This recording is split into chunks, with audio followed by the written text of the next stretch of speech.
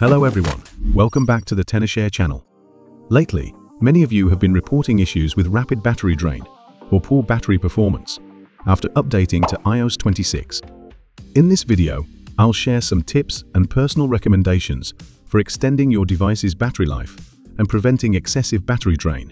I've personally used both an iPhone 11 and an iPhone 16 for a few days, and I've noticed that battery drain is indeed significantly faster than with iOS 18, especially since the new liquid glass interface requires real-time rendering, which puts even greater strain on device.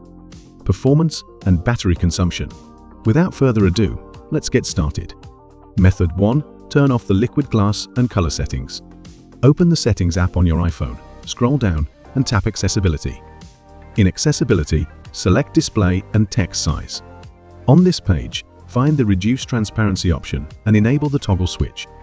Once activated, the glossy glass background will be replaced with a solid, high-contrast background. Then, long press the screen, tap Edit in the top left corner, tap Customize, turn off the color settings, and select the default setting to reduce your iPhone's battery life. Method 2. Change the battery settings. To do this, open the Settings app on your device, tap the battery option, and now toggle on the low power mode option. Next, tap the charging option here Find the optimized battery charging option and toggle it on. This will help your battery stay healthy over the long term. Method 3. Adjust auto brightness. In your iPhone settings, find display and brightness. Turn on auto brightness and enable dark mode. This can often save significant battery life. Method 4. Turn off background refresh and location services. Open your iPhone settings, tap General, find Background App Refresh, and turn off Background Refresh for some infrequently used apps. This can reduce the automatic background power consumption of some apps. Then, return to Settings, find Privacy and Security, and turn on Location Services. Here, you can turn off location services for unneeded apps to reduce battery consumption.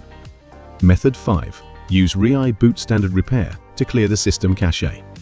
If your phone's battery is still draining rapidly after following the above optimization techniques, try using ReiBoot's standard repair feature, which clears the cache and reduces battery consumption.